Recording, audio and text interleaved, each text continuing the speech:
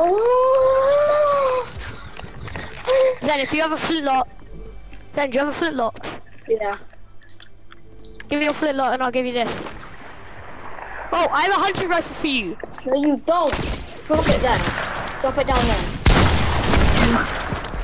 Oh wait, it actually does. He actually does. Oh wait, no. Wait, actually, I think he does. Bro, why is Jack just turning into, interfere, bro? I, I ruined your trading.